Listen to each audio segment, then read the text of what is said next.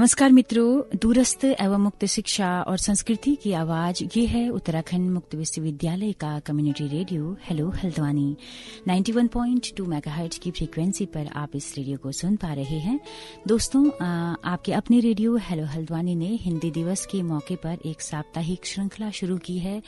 हिंदी के तमाम आयामों पर हम उस श्रृंखला के तहत बात कर रहे हैं। आज हम बात करेंगे कि सोशल नेटवर्किंग साइट्स के ज़रिए, उसमें फेसबुक है ट्विटर है ब्लॉग हैं यूट्यूब चैनल्स हैं उन्होंने कितना हिंदी को ग्लोबल बनाया है कितना हिंदी को जीवित रखा है कि, कितना हिंदी को आम जीवन से जोड़ा है इस पर आज हम बात करेंगे। क्योंकि पूरा एक जो हिंदी का जो पूरा परिदृश्य है जो हिंदी के विद्वान हैं कई सारे लोग रोना रोते हैं कि हिंदी खत्म हो रही है हिंदी अतकचरी हो गई है उसमें कई तरह के शब्द शामिल हो गए हैं हमको शुद्ध हिंदी बोलनी चाहिए। तो आ, हिंदी दिवस के मौके पर या फिर हिंदी से लगाव रखने वाले कई तरह के लोग इस तरह की भविष्यवाणी अक्सर करते रहते हैं, ऐसी चिंताएँ जताते रहते हैं। हालाँकि ये चिंता बहुत कम समय तक रहती है। कुछ कुछ चिंता रहती है कि हिंदी अधकचरी हो गई है। जबकि जबकि जो सोशल एक्सपर्ट हैं, जो ब्लॉगर हैं, वो कहते हैं कि हिंदी ग्लोबल हो गई है। बहरहाल, लेकिन अगर हिंदी का कहीं व्यवहार में, प्रैक्टिकल में भला होता नज़र आ रहा है तो उसमें इंटरनेट के हिंदी ब्लॉगों का मुझे लगता है कि एक बहुत ही अहम रोल है। हिंदी ब्लॉग्स के माध्यम से हिंदी भाषा और साहित्य की मुझे लगता है कि दिन, दूनी और रात चौगुनी प्रगति हो रही है। आए दिन दर्जनों की संख्या में नए नए ब्लॉग्स बन रहे हैं। और सबसे मज़ेदार बात यह है कि उन ब्लॉग्स को वो पाठक वर्ग भी पढ़ रहा है जिसने हिंदी पत्रिका तो दूर उसके बारे में कभी सुना भी नहीं था। तो यानी कि हम कह सकते हैं कि हिंदी का एक नया संस्करण है ये ब्लॉग और एक नया पाठक वर्ग है। और फेसबुक ने ब्लॉगों के प्रचार प्रसार के लिए एक बहुत बेहतरीन प्लेटफॉर्म मुहैया कराया है।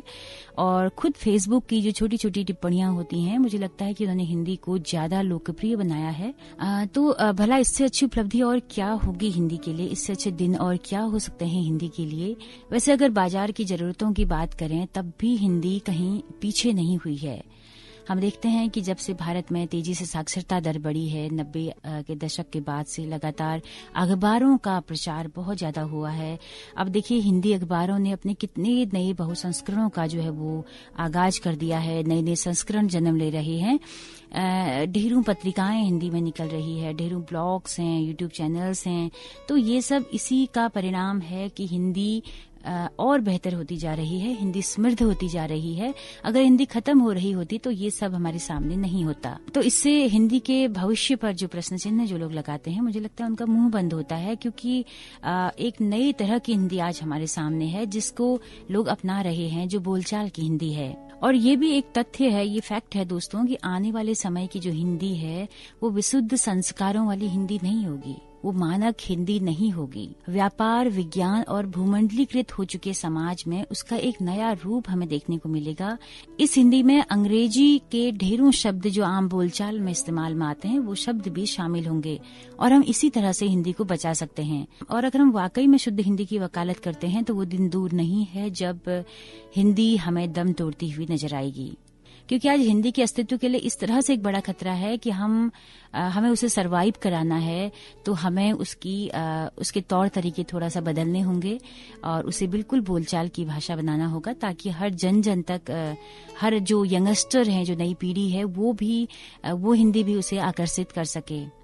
तो मुझे लगता है कि उस हिंदी को अशुद्ध कहने के बजाय ये नज़रिया रखना ज़्यादा बेहतर होगा कि तमाम भाषाओं से लेकर हिंदी ने खुद को समृद्ध किया है और खुद को प्रगतिशील बनाया है।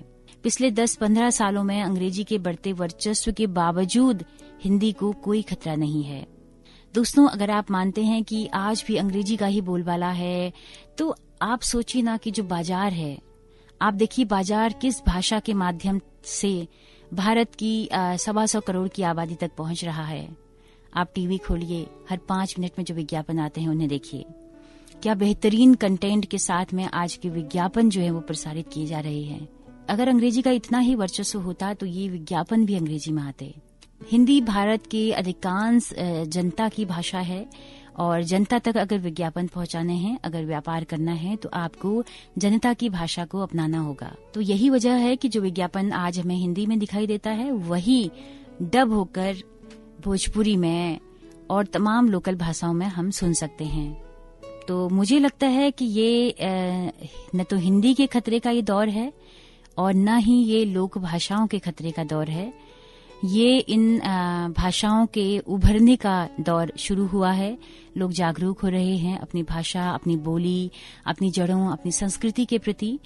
दोस्तों, हमने बात की हिंदी के प्रसिद्ध साहित्यकार डॉक्टर लक्ष्मण सिंह बेट्रोही जी से। वो कहते हैं कि जब भी कोई नई शैली प्रचलन में आती है तो लोगों को डर लगने लगता है। मुसलमान आए तो अरबी, फारसी का संकट सताने लगा। भाषा को भाषा विज्ञानी नहीं, बल्कि आम जन ही बनाएँगे। और वही आज हो रहा है। वो कहते हैं कि ब्लॉगों के माध्यम से लोगों ने नई और सरल भाषा गढ़ी है। पाणिनि ने भाषा को संस्कृत बनाया तो लोगों ने पाली और ब्राह्मी अपना ली। इसलिए भाषा व्याकरण से संचालित नहीं हो सकती। नए प्रयोगों को अतकचरापन कहना गलत है। दोस्तों, वहीं वरिष्ठ कवि लीलाधर जगुड़ी कहते हैं कि हिंदी को लेकर कई लोग शोक मुद्रा में बैठे हुए हैं। और ये वे लोग हैं जो हिंदी को स्थानीय भाषा के लिए खतरा मानते हैं। स्थानीय भाषा में अगर दम होता है तो वह स्वतः ही फल फूल जाती है। हर देश और भूगोल को एक कॉमन भाषा की ज़रूरत होती है।